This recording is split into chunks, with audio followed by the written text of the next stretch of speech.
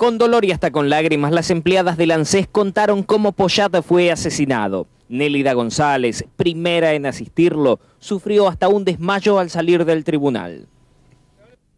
Su testimonio generó también la emoción de la madre y la esposa de Poyat. La más conmocionante de todas, por el relato de esta señora que fue la que tomó la cabeza de mi hijo en el último momento, lugar que yo hubiera querido tener.